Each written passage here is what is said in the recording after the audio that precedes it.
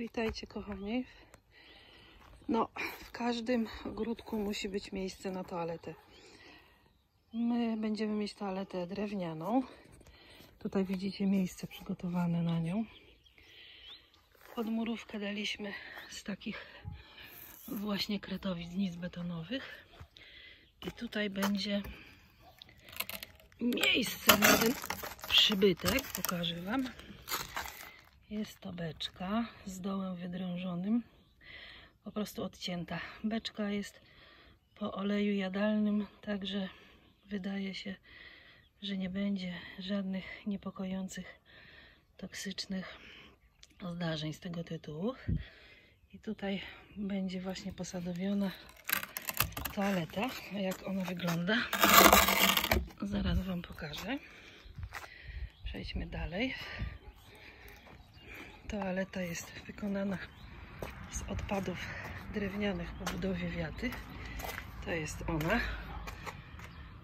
Pierwsze serduszko, które ma za zadanie być wywietrznikiem. No i ta toaleta. Panowie z rodziny zrobili ją własnoręcznie. Zamykany skobel. Wejdźmy do środka. Wejdźmy do środka. Oto ten przybytek. Wydaje się być standardową toaletą.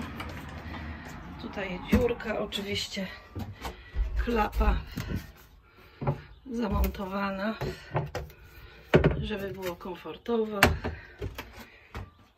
Tutaj widzimy zamontowany jest kluczyk, żeby można było swobodnie się zamknąć. O, ten kluczyk jest tutaj. Drugie serducho. Oczywiście każda toaleta drewniana musi mieć swoje serducho. Tak ona się prezentuje. Za chwilę będzie zamontowana już na miejsce docelowe. No i będzie komfort.